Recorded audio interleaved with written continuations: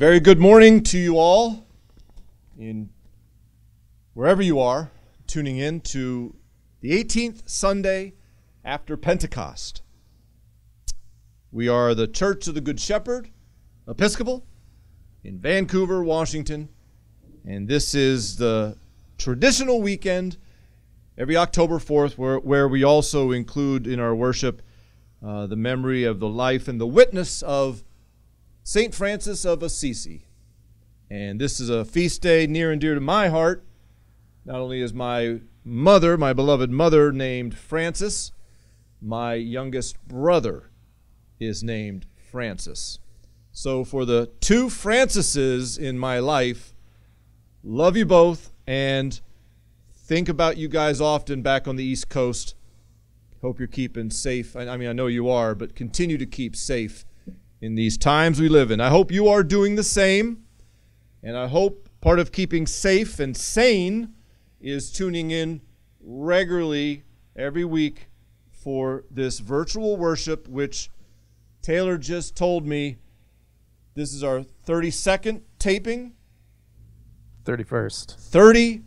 31st. We've been in front of this podium and in front of this camera now 31 times. Who would have thought? But we're still standing by the grace of God, and we hope you are too. And so uh, let me just say, since it is St. Francis Sunday, and I traditionally do a blessing of the animals, albeit this year it won't be live, it won't be in person, and I apologize for that, but that's where we are with the virus. I'm going to give a virtual blessing of your pet or your stuffed animal if you're a child, or a photograph or a framed picture, if you will, of your beloved pet, which may have already passed over the Rainbow Bridge. I say that now, not for you to scramble and to try to find where that picture is or where that dog or cat is. They might be hiding under the bed. But just FYI, I'm going to give a blessing over all your pets at the end of the service. Okay? Not now, not in the middle, but at the very end of the service, about an hour from now. Okay. Today we are joined by Bunny Dees, Ken Voss, Joel and Taylor once again in the saddle, and I am especially proud and happy to report that our beloved Bishop Greg Rickel, the bishop, the Episcopal bishop of the Diocese of Olympia, will be our preacher this Sunday. And indeed, it's October already, and that means traditionally at Good Shepherd it's Stewardship Month. And I know everybody goes, oh, like that. But no, We've got a great sermon, not only from Bishop Rickel uh, this week, but in the next few weeks to follow from some of your fellow lay people here at the church, talking about stewardship and being good stewards of all the gifts that God has given you, not just treasure, but time and talent as well. We need to hear that. We need to be reminded of that. So that's something to look forward to coming up. Okay. Our opening hymn is hymn 448, Oh Love, How Deep. Thank you.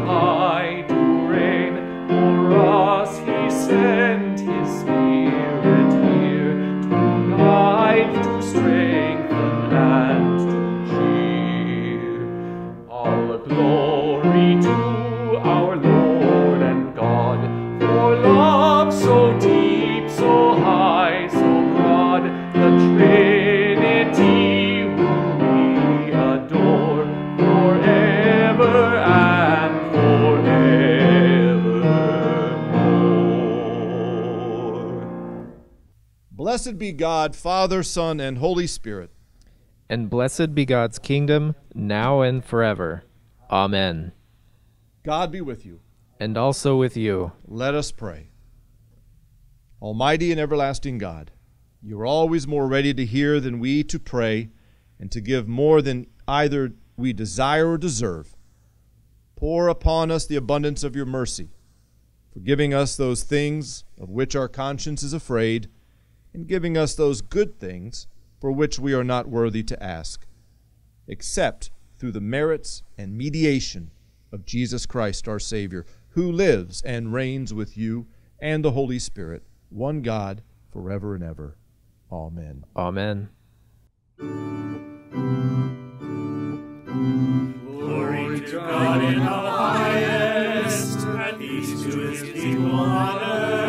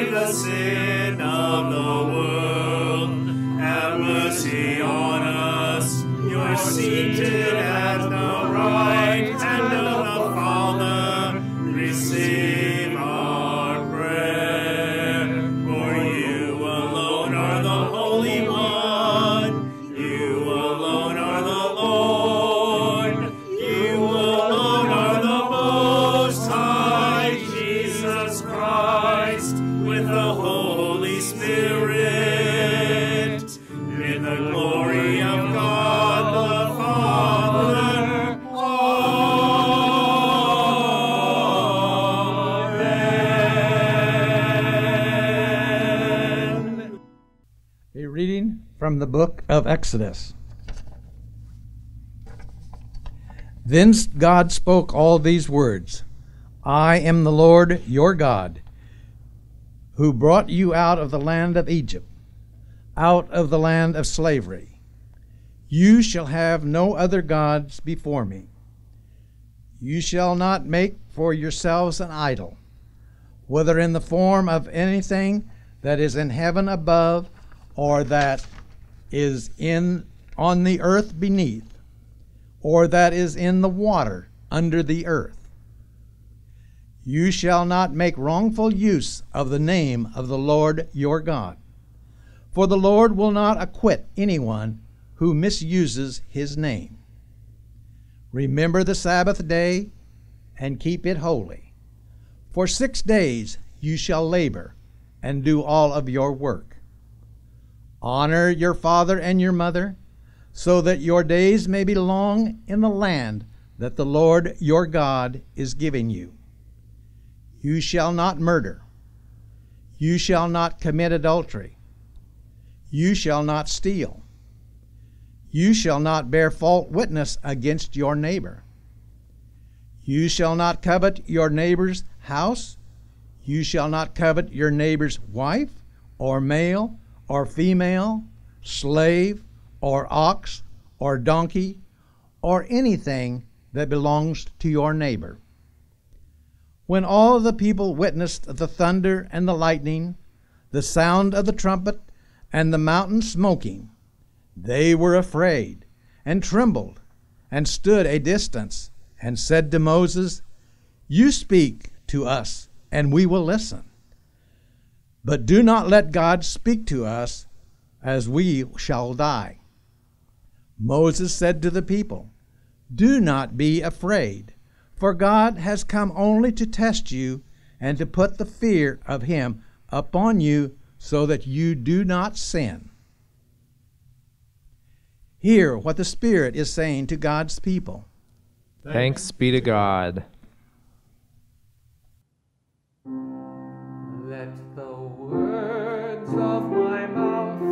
and the meditation of my heart be acceptable in your sight.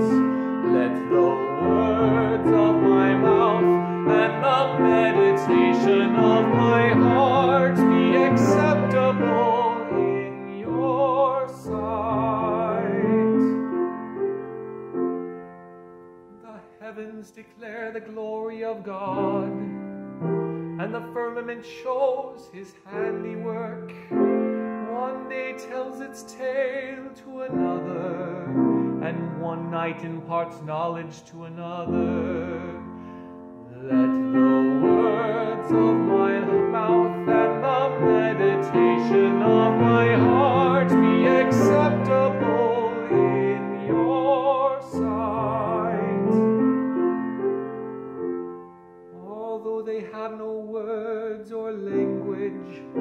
and their voices are not heard, their sound has gone out into all the lands, and their message to the ends of the world.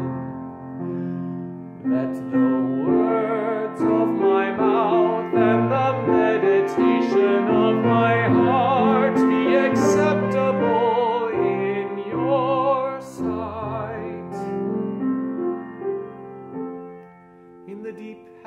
a pavilion for the sun. It comes forth like a bridegroom out of his chamber. It rejoices like a champion to run its course. It goes forth from the utmost edge of the heavens and runs about to the end of it again. Nothing is hidden from its burning heat. Let the words of my meditation of my heart be acceptable in your sight. The law of the Lord is perfect and revives the soul. The testimony of the Lord is sure and gives wisdom to the innocent. The statutes of the Lord are just and rejoice the heart. The commandment of the Lord is clear and give light to the eye. Let the words of my mouth and the meditation of my heart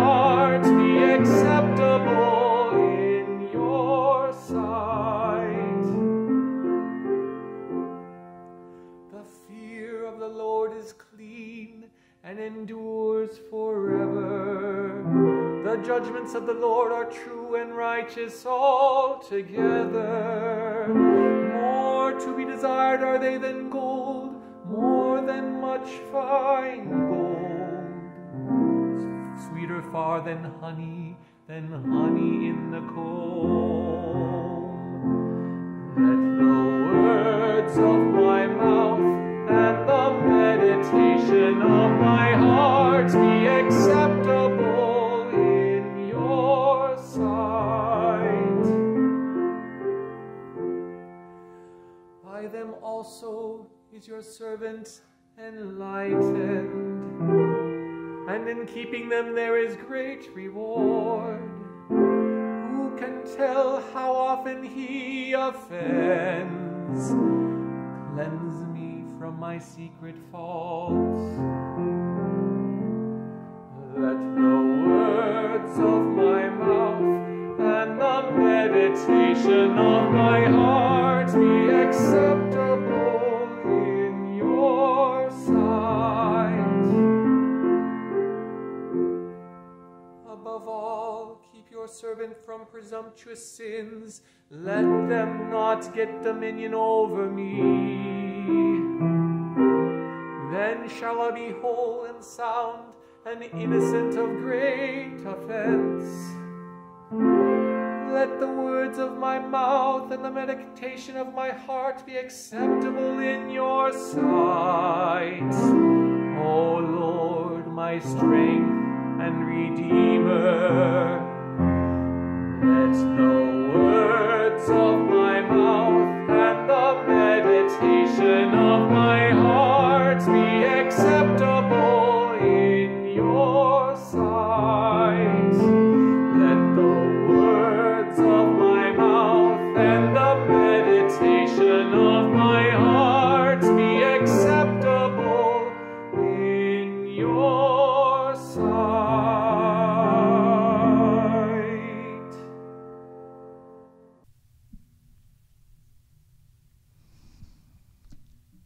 reading from the letter of Paul to the Philippians. If anyone else has reason to be confident in the flesh, I have more.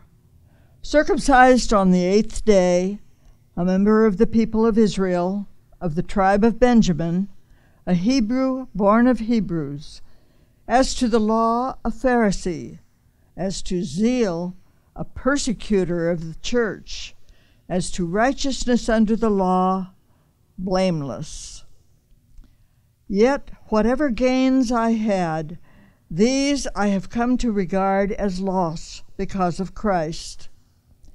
More than that, I regard everything as loss because of the surpassing value of knowing Christ Jesus, my Lord.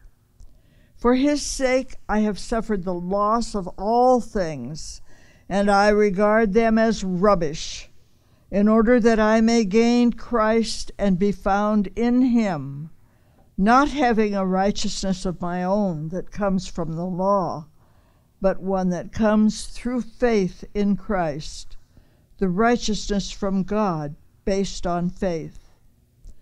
I want to know Christ and the power of his resurrection, and the sharing of his sufferings by becoming like him in his death, if somehow I may attain the resurrection from the dead. Not that I have already obtained this, or have already reached the goal, but I press on to make it my own, because Christ Jesus has made me his own Beloved, I do not consider that I have made it my own, but this one thing I do, forgetting what lies behind and straining forward to what lies ahead. I press on toward the goal for the prize of the heavenly call of God in Christ Jesus. Hear what the Spirit is saying to God's people. Thanks be to God.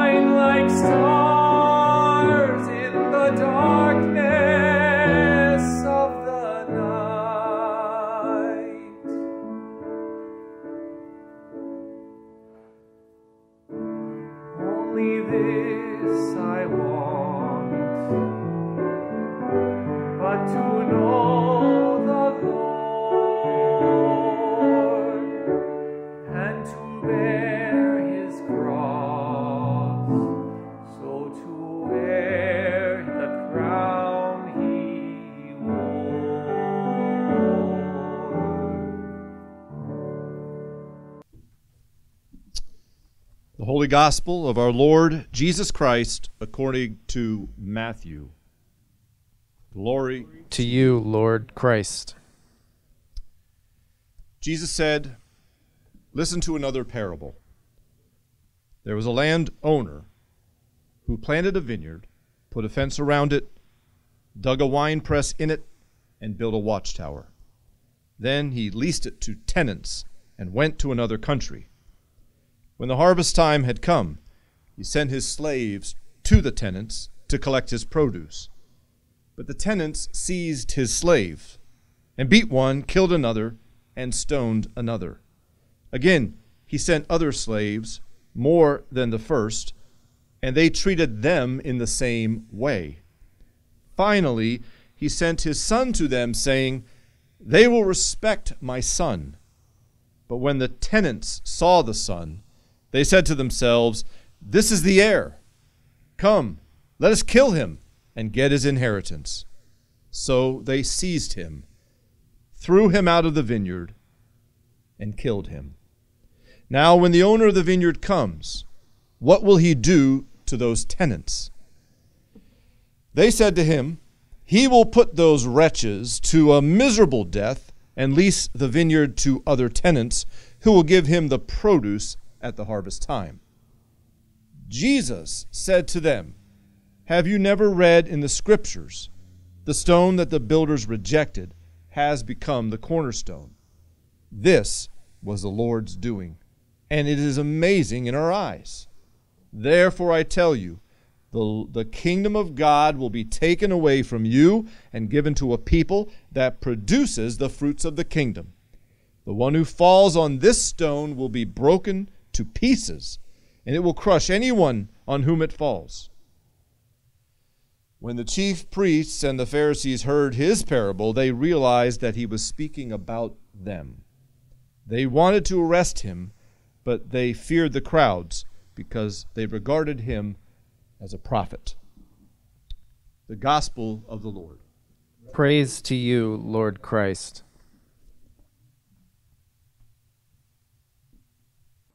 Good morning. So I chose this Sunday to preach for the diocese, for those who choose, because it was a convenient Sunday and I had to preach anyway for Christ Church Anacortes, which I am so thankful to be able to do today. And also because I do want to speak to stewardship, and this is a good time to do it. And finally, because I wanted to give our fabulous preachers around this diocese a day off from it, should they choose. Only later did I realize that many of you will be celebrating St. Francis and perhaps the blessing of the animals today. So I do want to tip my hat to that. I think Francis would definitely approve of my premise, probably lived it out literally better than just about anyone ever did, and he had lots to say about that. Hopefully, there's something in this for those of you celebrating that today. Certainly, that old saying by President Truman about Washington, D.C., if you want a friend in Washington, get a dog, is really true in so many ways in life. If you want a true, unconditional friend in this life, get a pet. So, along with many of you, we salute pets, animals, creation this day just as much. And to honor Francis even more, I'll tell you a story about him. Some of you have heard me tell it before. I've been very fortunate and blessed to go to Assisi several times. I love going there. In the huge basilica dedicated to him down in the valley below, right in the midst of it is the Porciuncula, the small little chapel, tiny, purported to be the one Francis loved the most and also where he died, just feet from its walls.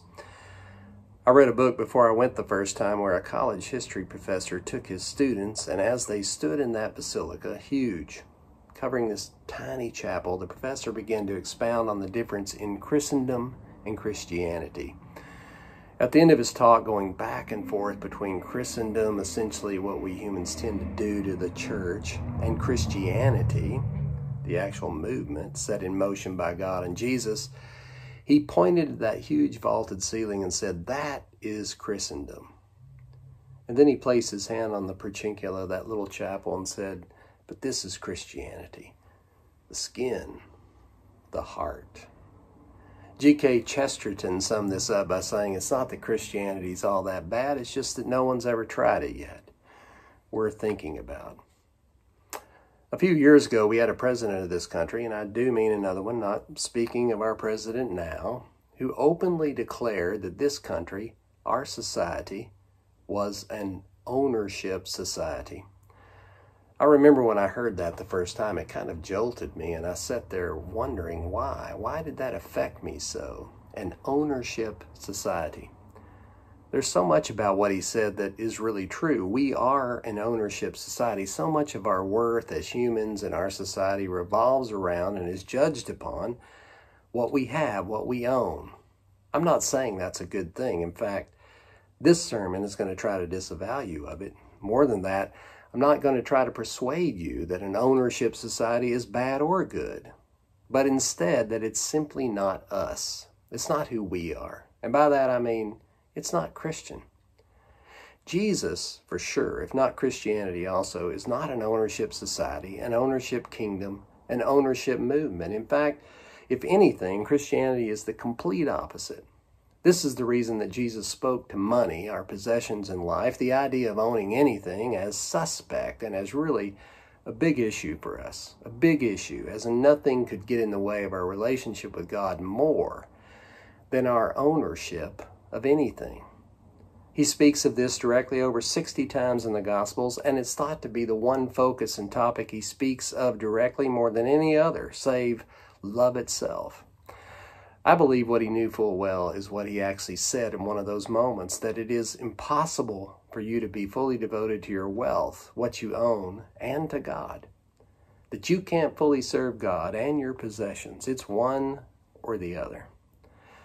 Over and over again, in many different ways, he makes this case, and today in this gospel, he makes it again, this time very directly. A landowner, who in this parable most definitely is God, rents out his land to a tenant who in turn seems to forget or not care about the fact that the land he's on is not his. He doesn't own it. Instead, it's owned by someone else, and he's there to benefit from the land, to care for the land, to make a living off that land. But in so doing, always realizing that he doesn't own it and is called instead to be a steward of it.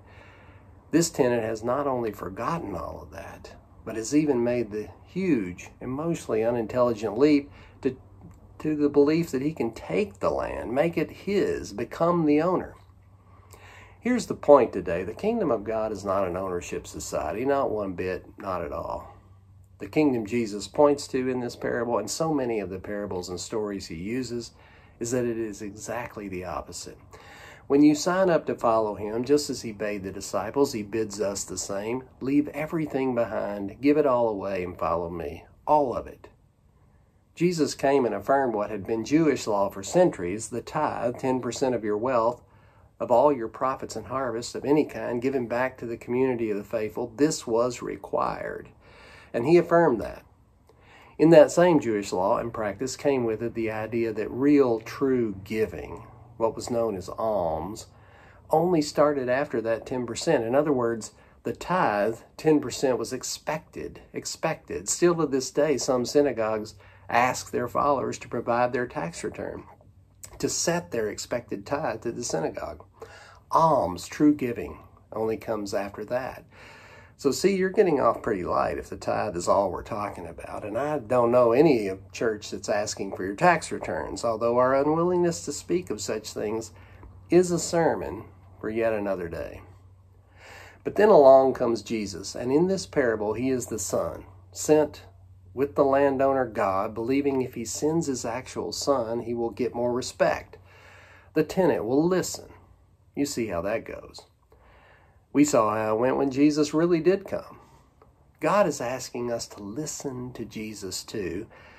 And what does Jesus say about all of this? Well, he affirms what I've just said, but he says basically over and over again, directly and in parable, 10% is not good enough.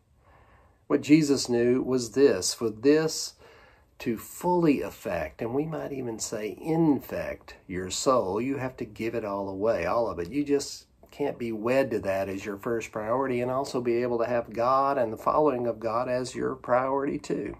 First, you have to give it all up. How do we do that in this generation? Of course, you can't simply pack all of your things, put them out on the corner, throw down the keys to your house and car, and whatever else, and walk away. Well, I guess you could, but you would be lost here, and you would definitely be needing a lot of help here. I don't think that's what's being asked literally. No, the world's economy, the world's way, the ownership society we live in is very real. It does exist. It is simply this for us Christians, it is the world we live in, but it is not any longer our world. That is how monumental a shift Jesus asked for, 100%. It's what Christians vow to when they take on this mantle and this way. So we don't sign over our deeds or walk away from it all, but we do have to get in to our heads, hearts, life, and practice that none of it is ours. We don't believe in the ownership society anymore. We instead live in a stewardship society and we live a stewardship life. Stewardship means caring for all that is in your hands while knowing it is not yours. You don't own anything. You will pass it along to other stewards someday. In essence, in becoming a Christian, you acknowledge that you are the tenant in this parable. You are there to work the land, to care for it, to give it back better than you found it, but to know it never as yours. As I often say in my stewardship workshops, there are no luggage racks on a hearse. It coincides with that old line, you can't take it with you.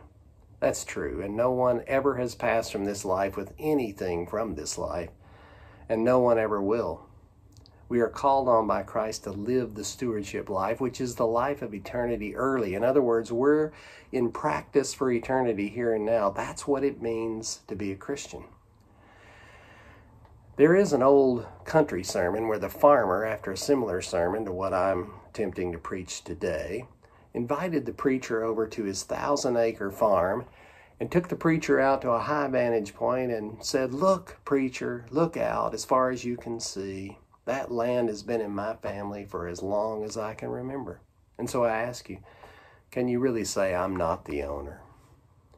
The preacher looked at him and said, Why don't you ask me that in a hundred years, or a thousand, or an eternity? No piece of paper, no history, no human will will ever make you the owner when you're no longer here.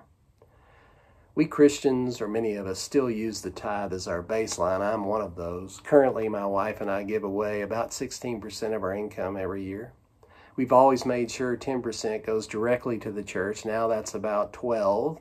The other 4 going to other causes we believe in. We are always striving to give more because we know and believe the other 84% is not ours either. We are stewards of it. Quite frankly, I have found that way of living to be so life giving, so liberating, so faithful. I hope you can find the joy and release in it too. My fellow followers of Jesus Christ, we are no longer owners, but instead stewards. May you fully know the freedom and gift of that truth. Beloved, I've said these words to you in the name of the Father, and of the Son, and of the Holy Spirit. Amen. Let us now say together the Nicene Creed. We believe in, In one, one God, God, the Father, the Almighty, maker of heaven and earth, of all that is seen and unseen. We believe in one Lord Jesus Christ, the only Son of God, eternally begotten of the Father, God from God, light from light, true God from true God, begotten, not made, of one being with the Father. Through him all things were made. For us and for our salvation, he came down from heaven. By the power of the Holy Spirit, he became incarnate from the Virgin Mary and was made man. For our sake, he was crucified under Pontius Pilate. He suffered death and was buried. On the third day, he rose again. In accordance with the Scriptures, he ascended into heaven and is seated at the right hand of the Father. He will come again in glory to judge the living and the dead, and his kingdom will have no end. We believe in the Holy Spirit, the Lord, the giver of life, who proceeds from the Father and the Son. With the Father and the Son, he is worshiped and glorified. He has spoken through the prophets. We believe in one holy Catholic and Apostolic Church. We acknowledge one baptism for the forgiveness of sins. We look for the resurrection of the dead and the life of the world to come. Amen.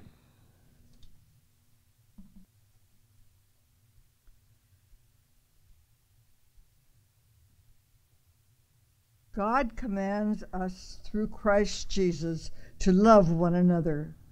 In baptism, we promise to seek and serve Christ in all persons, loving our neighbors as ourselves, and to strive for justice and peace and respect the dignity of every human being.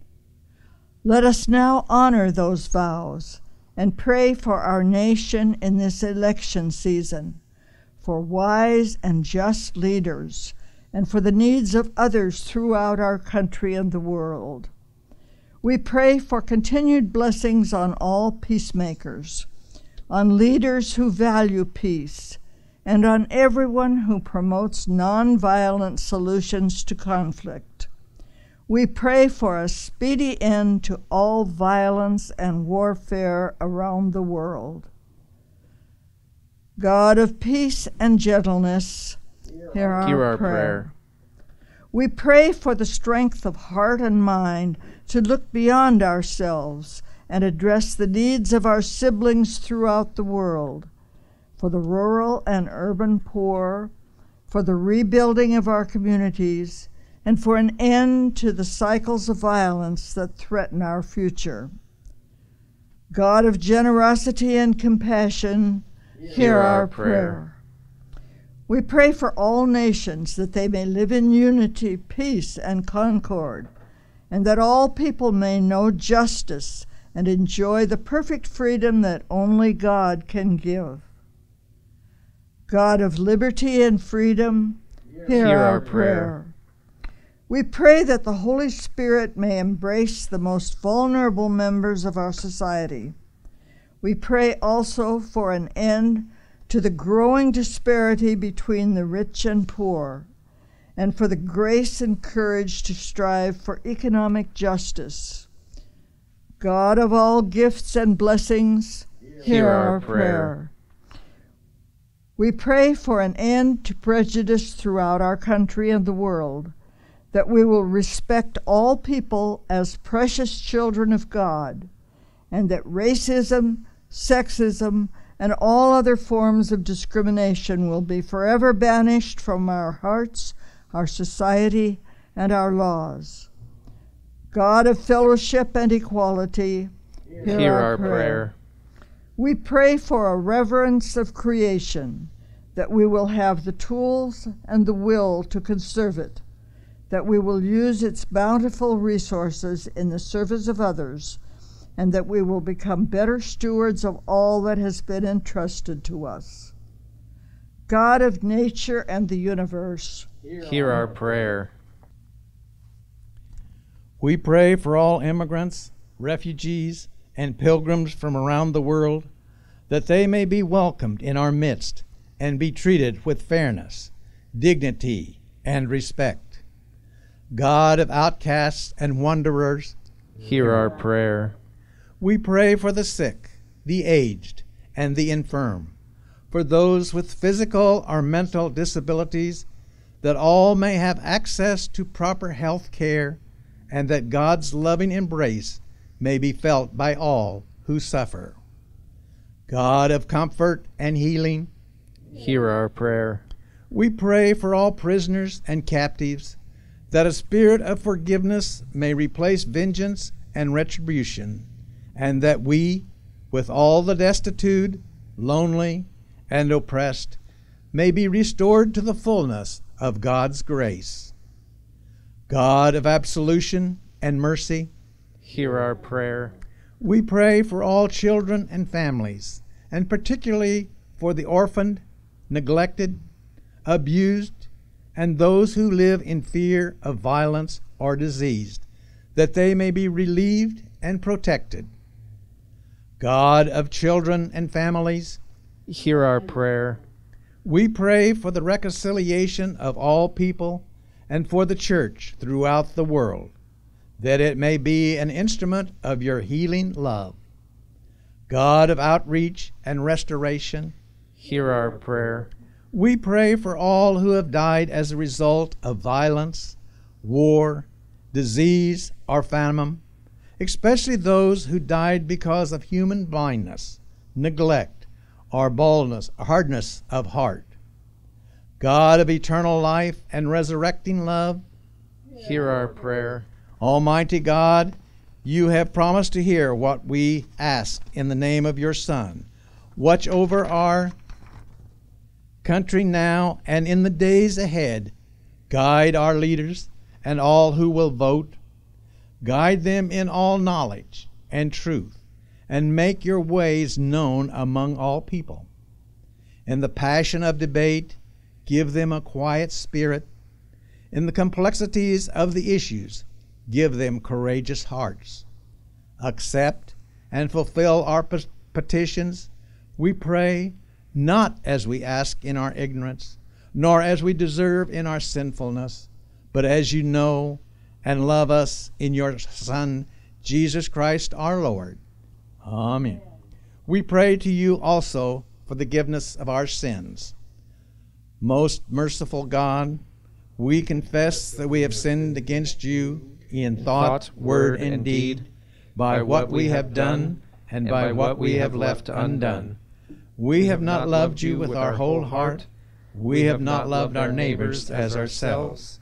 We are truly sorry and we humbly repent.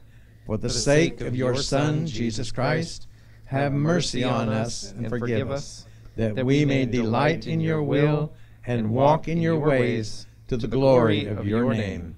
Amen.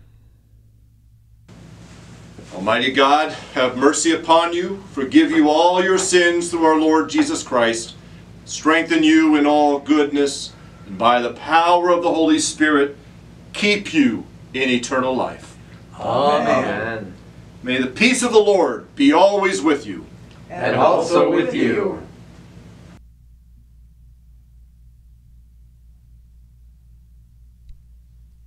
The Lord be with you. And also with you. Lift up your hearts. We lift them to the Lord. Let us give thanks to the Lord our God. It is right to give God thanks and praise. It is right and a good and joyful thing, always and everywhere, to give thanks to you, Father Almighty, Creator of heaven and earth. For by water and the Holy Spirit you have made us a new people in Jesus Christ our Lord, to show forth your glory in all the world. Therefore we praise you joining our voices with angels and archangels and with all the company of heaven, who forever sing this hymn to proclaim the glory of your name.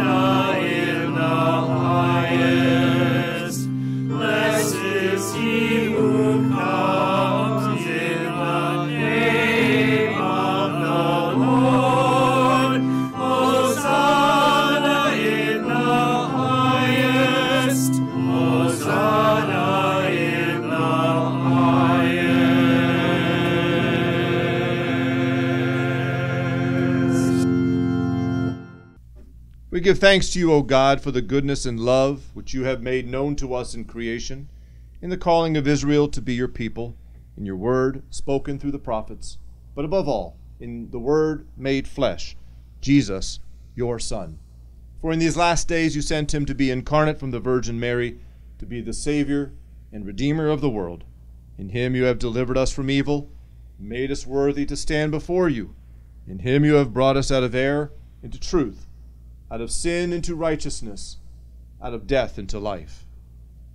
On the night before he died for us, our Lord Jesus Christ took bread, and when he had given thanks to you, he broke it, gave it to his disciples, and said, Take, eat.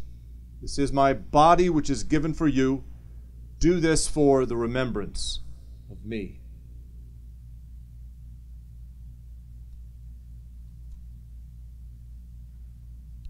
After supper, he took the cup of wine, and when he had given thanks to you, he gave it to his friends and said, Drink this, all of you.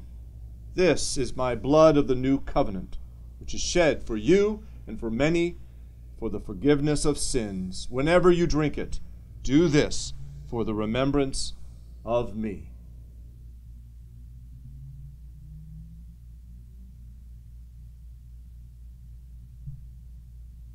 Therefore, according to his command, O Father, we remember, We remember his, death, death, we, proclaim his resurrection, we await his coming in glory. And we offer our sacrifice of praise and thanksgiving to you, O Lord of all, presenting to you from your creation this bread and this wine.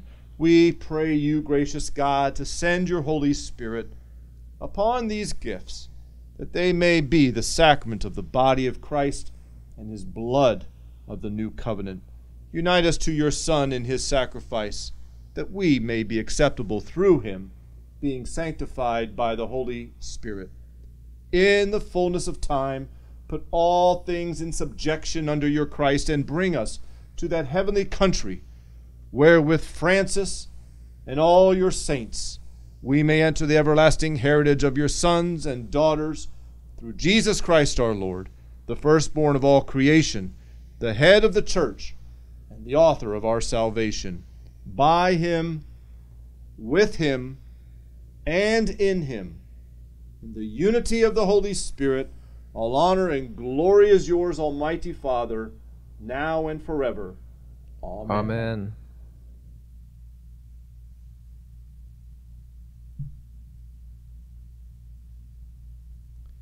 And now, as our Savior Christ has taught us, we are bold to say, Our Father, who art in heaven, hallowed be thy name. Thy kingdom come, thy will be done, on earth as it is in heaven. Give us this day our daily bread, and forgive us our trespasses, as we forgive those who trespass against us. And lead us not into temptation, but deliver us from evil. For thine is the kingdom, and the power, and the glory, forever and ever. Amen.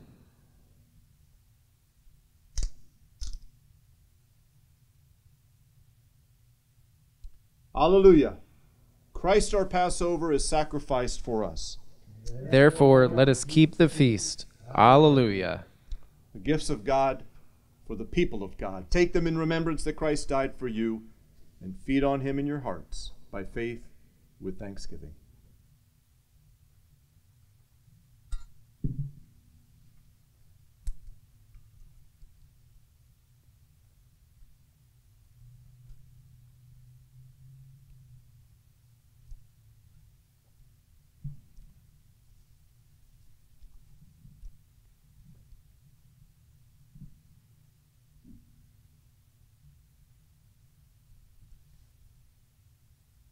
a prayer attributed to St. Francis. Lord, Lord, make, us, instruments of your peace. Where there is hatred, let us sow love. Where there is injury, pardon. Where there is discord, union. Where there is doubt, faith. Where there is despair, hope. Where there is darkness, light. Where there is sadness, joy. Grant that we may not so much seek to be consoled as to console, to be understood as to understand, to be loved as to love. For it is in giving that we receive, it is in pardoning that we are pardoned, and it is in dying that we are born to eternal life. Amen. Couple announcements. Uh, wonderful to make these announcements. They're so they're blessings. They're they're praise reports.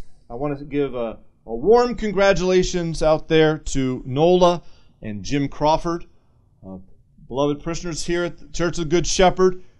Became a parent this week. I learned several others did. Actually, it was announced and alluded to on the Bible study every Wednesday night that we've been doing. So that's a shameless plug there. Jump on that if you don't mind, and you don't have to make every week, but uh, we sure would love to have you. Uh, Jim and Nola celebrated 50 years of wedding wedding anniversary. Congratulations to the two of you. Quite an achievement, no small thing. Blessings for health and happiness for many more years together.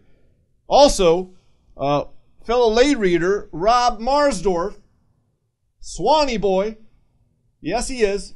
We went to the same school. He went to the undergraduate school. I went to the graduate school, School of Theology. Rob Marsdorf turns 90 years young tomorrow. So happy birthday, Rob. I call him Gandalf. That's an inside joke. But uh, blessings to you, brother, and Susan, and your children, and health and happiness, body, mind, and soul, many more you'll be able to enjoy. And last but not least, another wonderful joy and praise report. Larry and Janice Crumbaker became first time grandparents the last week or so. So, yes, their son Paul uh, has now a daddy, and they got a beautiful granddaughter. And so, Larry and Janice, we celebrate with you and we say congratulations as you've both now entered into grandparent land. Now, here's a time I want to say a prayer over all your pets. So take a sec while I say something. While I, while I say something, get your stuffed animal if you're a little kiddo, or have your pet right now in your lap or right by your side, or have a picture of your, your beloved pet who's gone over the rainbow bridge. But I would be remiss on the feast of St. Francis not only to do the blessing of the animals, but also to give a, a blessing and a and a and a, a shout out, and that's a little bit irreverent, but Francis had a companion, a woman named Claire. And so, personally, like I said at the beginning, my mother's Francis. Well, guess what the name of her greyhound is? Joel's laughing because him and his wife have a greyhound. Yes, indeed. Mom and dad, their beloved black greyhound is named Claire. And uh, Claire and Francis, really, they go together. And so I just want to honor Claire today as well. She has a feast, but anyway, okay. Here is the blessing on your animals. And again, we'll do this next year, God willing, outdoors. Lord, we thank you for these beautiful creatures dogs and cats and hamsters and guinea pigs and horses and goats, whatever they may be, fish, hermit crabs. We thank you, Lord, for them and the joy and the happiness and the peace that they bring us. So thank you, Lord, for everyone tuning in who has their beloved pet or beloved animal, their beloved stuffed animal, and also a picture of their beloved animal who has gone over the rainbow bridge. I want to say on this St. Francis feast day, a special blessing upon all the pets out there and their owners. Keep them healthy and strong, keep them virus free, and give them a long and happy life together. In the name of the Father, who created us all, the Son, who redeemed us all, and the Holy Spirit, who guides and strengthens and encourages us and gives us hope for tomorrow. Amen. Amen. Thank you for tuning in. Let us sing together our final hymn, hymn 546 Awake, My Soul.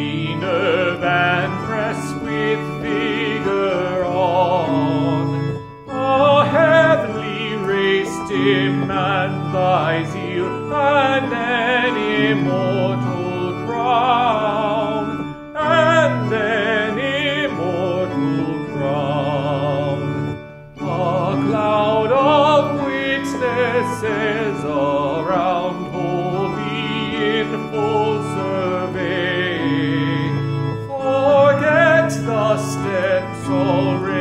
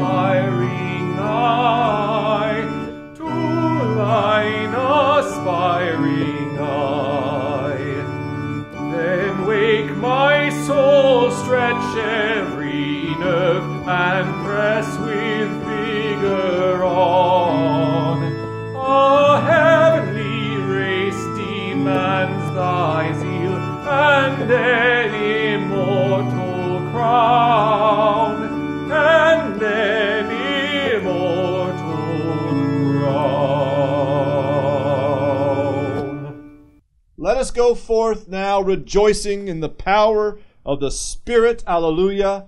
Alleluia. Thanks be to God. Alleluia. Alleluia.